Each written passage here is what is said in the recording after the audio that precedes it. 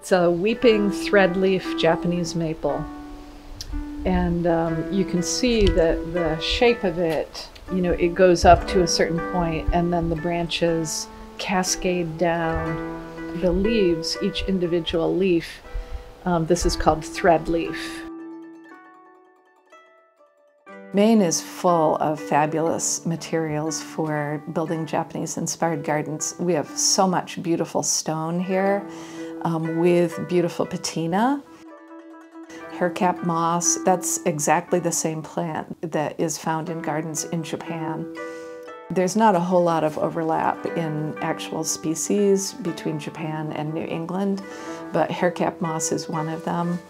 There are certain types of Japanese maples that will grow nicely in Maine.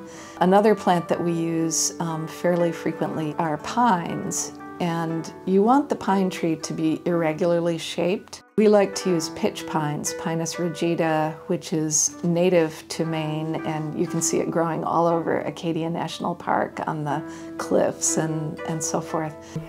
Some of the oldest gardens in Japan um, you know, date from the 500s, 600s, 700s. I was able to find a complete set of this really amazing 26 volume uh, treatise on Japanese gardens. This was written in uh, 1939 by a garden designer and historian named Shigemori Mirei. There have been uh, um, books written on him. He and um, and the cats. The cats love these books too. he designed a lot of gardens in addition to um, cataloging them.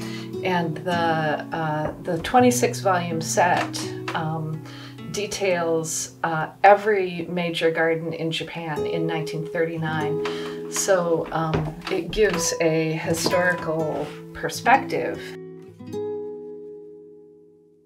Making a garden look natural and believable is kind of how we think of it is one of the most important things that we do. We learn about how to make that happen by um, studying natural scenes.